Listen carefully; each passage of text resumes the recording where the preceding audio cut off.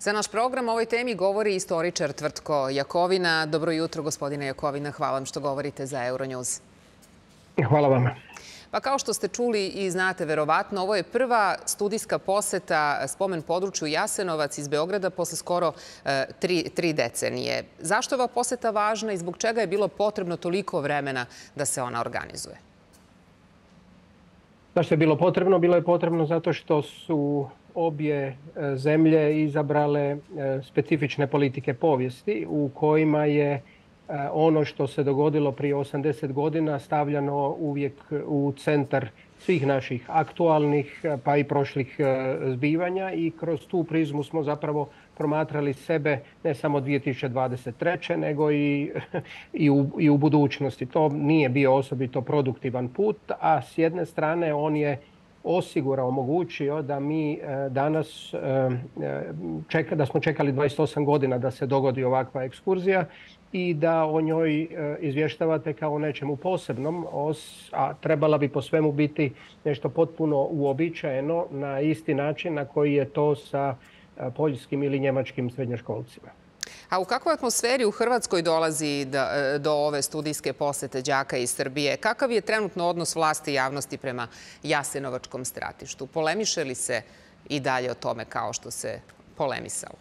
Pa ja, ja bih rekao da je možda u posljednjih nekoliko mjeseci e, e, situacija koja je što se tiče eksploatacije prošlosti bila donekle smirena. Dakle, mi smo usvojili e, e, dominantnu interpretaciju e, zadnjih 30 godina, međutim nešto je palo, dakle doživljaj uzbuđenja su nešto pala, ona će se baš ovih dana ponovo razbuktati u kontekstu Vukovara, što je s jedne strane vezano za vrijeme 90. godina, ali uvijek je to povezano i sa vremenom drugoga svjetskog rata pa međutim to se dogodilo sve kasnije nakon što je ova ekskurzija se već e, odvila. Međutim to samo pokazuje da ako imate e, bivšeg člana HDZ-a i sada člana predsjednika nove e, ekstremno desne stranke u Vukovaru koji je ujedno i gradonačelnik, ako on radi posebne plakate i ako inzistira na tome da se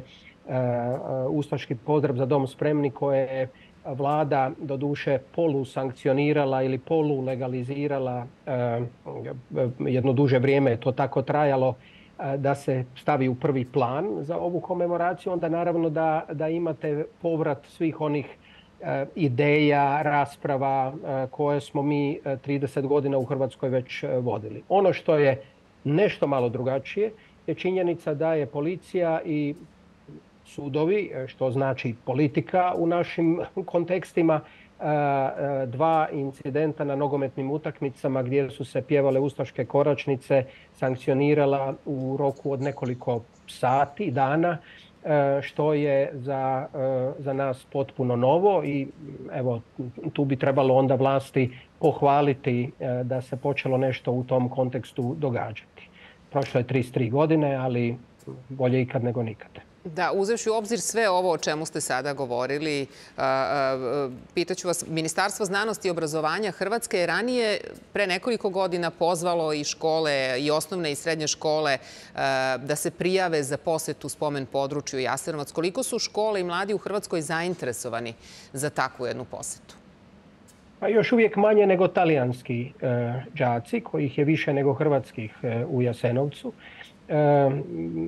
ja bih rekao da e, vlast koja kontrolira sve ravnatelje e, gimnazija, manje više, e, bi mogla tu učiniti više kad bi bilo kad bi bilo stvarne volje, su ti ljudi postavljani po politici pa će i po politici provoditi diktat.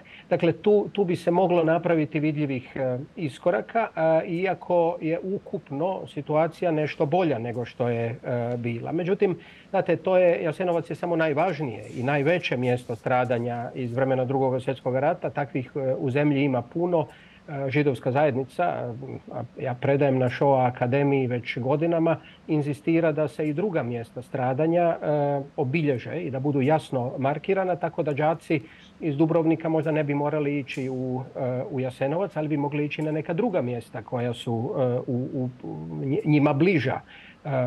može to biti Rab, može to biti mogu to biti Đakovo za, za Slavonce i tako dalje. Tako da tu, tu, tu postoji naravno mjesta za iskorak kakav su Njemci učinili već davno ili morali učiniti već davno. Međutim, čini mi se da ovakva zajednička suradnja, znate i posjeta đaka iz Beograda je došla nakon već punih sedam godina najizravnije koalicije vladajućeg HDZ-a i najvažnije srpske stranke u Hrvatskoj. Tako da evo ti pomaci su možda spori, ali nešto se događa. To bi mogao biti put.